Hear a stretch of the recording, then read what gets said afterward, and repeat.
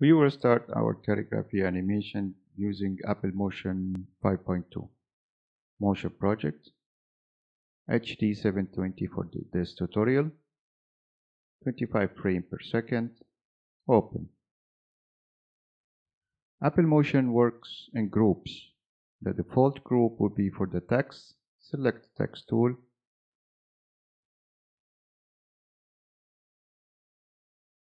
Select selection tool click inspector text. You can change the font from here. You can change the size to 650 enter. Fit to window. Align the love word. To start the mask path we need to create a new group. Click on project.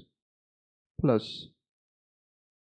New project double click masks. Select the pen tool. Start to draw the new mask. You need to be accurate. We'll do some modification later on.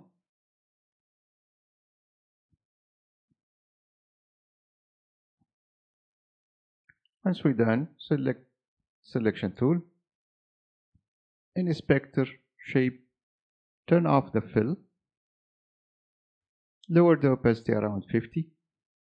Increase the width over 40. By selecting the path layer, double click on the screen to activate the path. Zoom in. Start align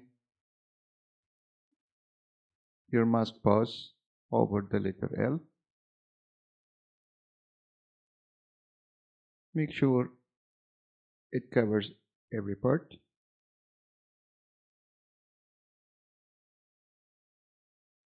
Once we're done select the image text layer.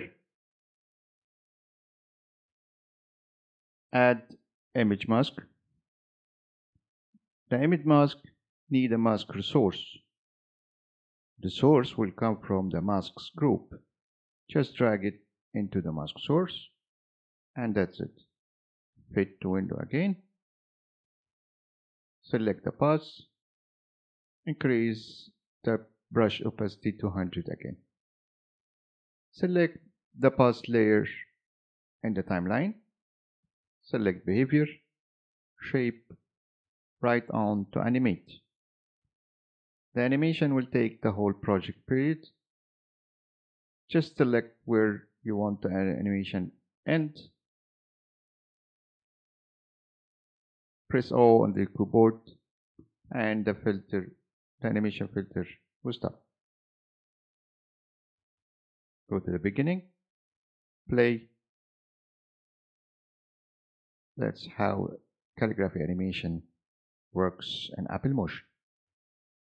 Same we still have the same problem between at the intersection between thin passes and thick passes in calligraphy. We'll solve this in later video, but please practice the steps in Apple Motion to create the motion, the mask group, the path, adding the image, and later write on. See you next.